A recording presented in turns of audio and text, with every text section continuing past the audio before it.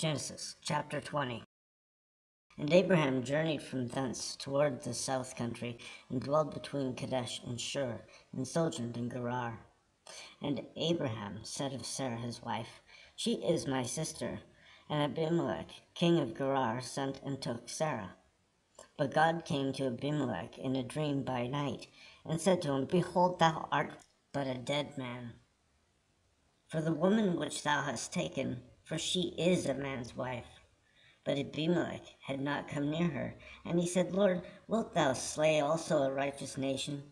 Said he not unto me, She is my sister?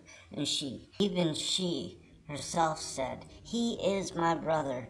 In the integrity of my heart and innocency of my hands have I done this. And God said unto him in a dream, Yea, I know that thou didst this in the integrity of thy heart, for I also withheld thee from sinning against me. Therefore suffered I thee not to touch her. Now, therefore, restore the man his wife, for he is a prophet, and he shall pray for thee, and thou shalt live. And if thou restore her not, know thou that thou shalt surely die, thou and all that are thine. Therefore Abimelech rose early in the morning and called all his servants and told all these things in their ears, and the men were sore afraid. Then Abimelech called Abraham and said unto him, What hast thou done unto us, and what have I offended thee, that thou hast brought on me and on my kingdom a great sin? Thou hast done deeds unto me that ought not to be done. And Abimelech said unto Abraham, What sawest thou that thou hast done this thing?